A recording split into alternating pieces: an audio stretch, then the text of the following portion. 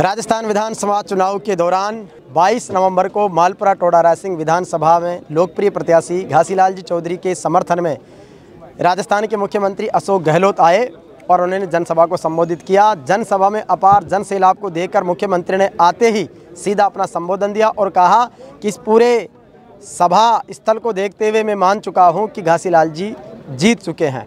अब आपको 25 नवंबर को वोटिंग के साथ और 3 दिसंबर को जनादेश के साथ मोहर लगनी है और उन्होंने घासीलाल जी को मालपुरा को जिला बनाने के लिए संघर्षशील व्यक्तियों में क्रेडिट दी है और इसके साथ ही कहा है कि कांग्रेस की सरकार में मालपुरा से घासीलाल जी विधायक बनने के बाद बड़ी भागीदारी में शामिल रहेंगे, ये सीएम का बहुत बड़ा संकेत है।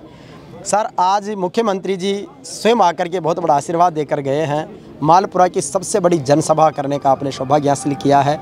क्या कहना चाहेंगे कितनी खुशी है और जनता का धन्यवाद।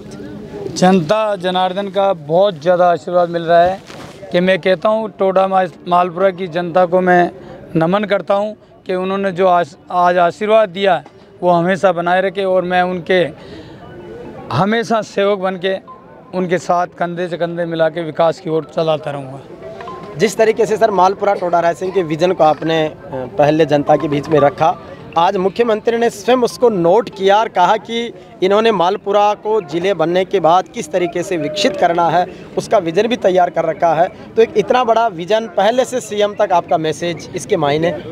सीएम साहब का बहुत ज़्यादा आशीर्वाद है और उन्होंने ज़िला बनाया और सारा सब कुछ सेटअप उसी तरह करेंगे जिस तरह मैंने अभी बताया है यहाँ पे।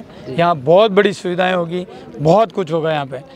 और टोडा राइसिंग भी अभी क्लियरिटी नहीं है लेकिन हो सकता है उसके भी इससे इधर टोडा राइसिंग हुआ वहाँ भी बड़ी सुविधाएँ मिलेगी।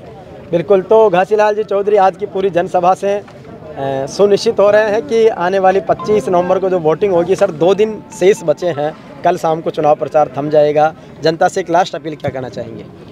मैं जनता जनार्दन मेरी माए बाप है।